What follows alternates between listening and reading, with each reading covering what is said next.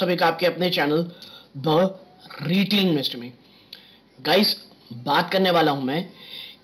एक ऐसे कह लीजिए कंपनी की जिसके आज क्वार्टर वन के नतीजे आए हैं। कंपनी का नाम है सेंचुरी प्लाई कैसे रहे इसके रिज़ल्ट किस तरह से कह लीजिए सेगमेंट वाइज कंपनी ने परफॉर्म किया है? इन तमाम चीज़ों में चर्चा करूँगा दोस्तों। वीडियो को अंत तक देखिएगा। आज बहुत सारे रिजल्ट्स आने वाले इंपॉर्टेंट जिसको मैं एक एक करके यहाँ पेश करूँगा दोस्तों। तो आगे बढ़ने से पहले सब्सक्राइब कर लें और अच्छा लगे तो लाइक कीजिएगा। विदाउट वेस्ट टाइम सीधा लेके चलता हूँ रिज़ल्ट की तरफ़। देखिए, ये है रिज़ल्ट तो कंपनी ने ये रिज़ल्ट पेश किया है और लगभग दो बजे पूरी मीटिंग खत्म हुई है। अब लेके चलते हैं भाई साहब के रिज़ल्ट कैसे रहे। तो इसके लिए मैं थोड़ा सा इसको बड़ा कर लूँ। और दोस्तों देखिए, ये लैक में रिज़ल्ट है। तो प्लीज़ थोड़ा बियर कीजिएगा। लैक में ये रिज़ल्ट है। तो हमें दो पॉइंट और इधर करने पड़ेंगे। तो चलते हैं, सबसे पहले देखते हैं। रेवेन्यू फ्रॉम ऑपरेशन को। तो दो पॉइंट इधर कर दिए eight hundred eighty one point eight eighty one point crore का आप कह लीजिए रेवेन्यू फ्रॉम ऑपरेशन हुआ है, जो पिछले क्वार्टर में आप कह सकते हैं कि eight hundred ninety five crore हुआ था, यानी यहाँ पे कमी दिखने को मिल रही साफ़ साफ़ अदर इनकम की बात करूँ, आपके लिए 5.98 करोड़, यानी 6 करोड़ आप कह सकते हैं, जो पिछली बार 5.21 करोड़ हुआ था। और ये दोनों ही फिगर जब आप मिलाएँगे तो जो टोटल इनकम निकल के आती है, वो है कितनी दोस्तों? 886 887.46 करोड़। जो पिछले क्वार्टर में आप कह लीजिए 900 करोड़ के आसपास 900 करोड़ थी दोस्तों। और यानी कि टोटल इनकम में साफ़ साफ़ नज़र आ रहे कमी। बात करूँ पिछले साल इसी क्वार्टर में तो ये था 453.79 करोड़। एक्सपेंसेस यानी खर्चों की बात करेंगे कॉस्ट ऑफ़ मटेरियल कंज्यूम देखिए तो 547.54 करोड़, जो पिछले क्वार्टर में 5366.67 करोड़ रहा है। यानी कि कॉस्ट ऑफ़ मटेरियल कंज्यूम में काफ़ी बड़ी गिरावट देखने को मिल रही है दोस्तों। ठीक है? जो कि पिछली बार काफ़ी ज़्यादा थी। बात करें purchase of stock in trade की तो ये देखिए 133 करोड़ रुपए, जो पिछली बार 106 करोड़ थी। ठीक? ये एम्प्लॉय बेनिफिट एक्सपेंसेस सभी की नज़र इसमें बहुत ज़्यादा रह रही दोस्तों आजकल। तो ये इस बार एक सौ पंद्रह दशमलव दो दो करोड़ रही, जो पिछली बार एक सौ ग्यारह दशमलव छह आठ करोड़ थी। यानी आप देखिए, यहाँ पे भी आपको बढ़ोतरी देखने मिल रही है। फिनेंस कॉस्ट 3.87 करोड़ नेग्लिजिबल 3.20 को इतना ज़्यादा नहीं पड़ता। अदर एक्सपेंसेस की नज़र डालेंगे तो देखिए, एक सौ पचपन दशमलव तीन पाँच करोड़ रही, जो पिछली बार 163.12 करोड़ रही है। और जब आप इन सबको मिला के टोटल एक्सपेंस देखेंगे तो ये 757.89 करोड़, जो पिछली बार 754.71 करोड़ रही है। यानी कि खर्चे वाकई ज़्यादा हुए, लेकिन दोस्तों कुछ ऐसे ज़्यादा नहीं हो गए कि कुछ आप कह सकते कि अरे यार तो बहुत ही ज़्यादा हो गए। नहीं, ठीक रहे खर्चे।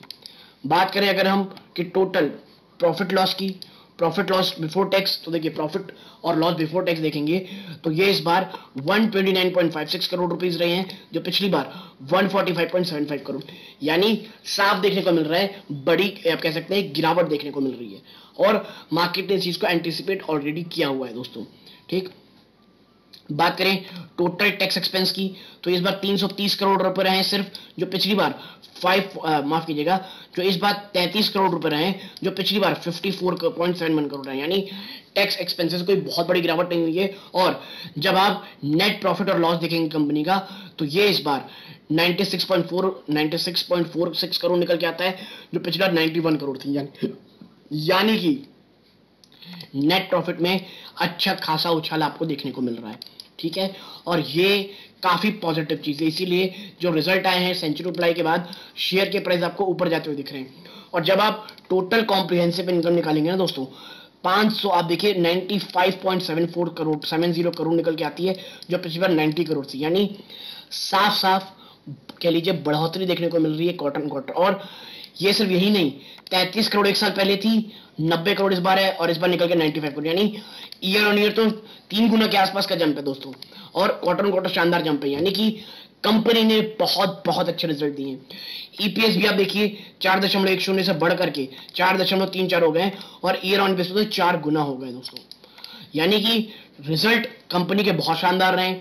बात करूँ अगर देखने की कि भाई किस तरह सेगमेंट वाइज अगर रिज़ल्ट रहा है तो देखिए सेगमेंट वाइज अगर अपन देखेंगे दोस्तों तो आपको साफ़ साफ़ देखने को मिलेगा कि भैया कंपनी ने आप देखें, जो plywood and allied plywood and allied products हैं।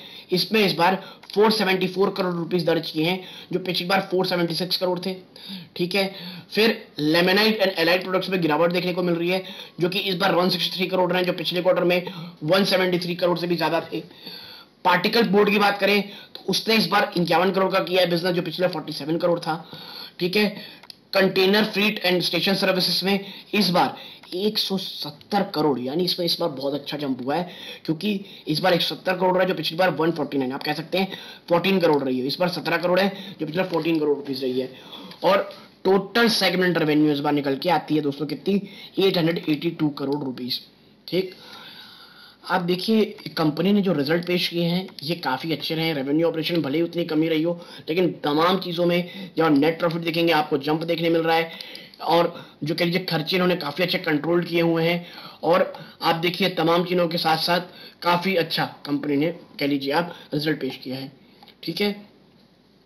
और बात करें अगर कंपनी ने की कुछ तरफ़ से कोई बयान आया है इंपॉर्टेंट तो उसके लिए मैं नीचे वही देख रहा हूँ दोस्तों, अगर कुछ बयान होगा तो आपके साथ उसको मैं ज़रूर से ज़रूर शेयर करूँगा दोस्तों, ठीक है? लेकिन ऐसा तो हमें कुछ नहीं दिख रहा। जो हमें आपके साथ शेयर करना चाहिए या कुछ इंपॉर्टेंट चीज़ें तो मोर और लेस आप कह सकते हैं रिज़ल्ट अच्छे सेकंड परफॉर्मेंस स्टडी रही है क्वार्टर ऑन क्वार्टर और year on year year on year तो दोस्तों देखिए शानदार रिज़ल्ट रहे तीन गुना नेट प्रॉफिट हुए हैं और क्वार्टर ऑन क्वार्टर बेस पे आप कह सकते हैं एक डिसेंसी बढ़ाते हैं और इसीलिए मुझे लगता है रिज़ल्ट ठीक है और अभी तो बाज़ार ओपन है दोस्तों और सेंचुरी प्राई के रिज़ल्ट भी अच्छे चल रहे हैं, ऊपर पे ही ट्रेड कर रहे हैं।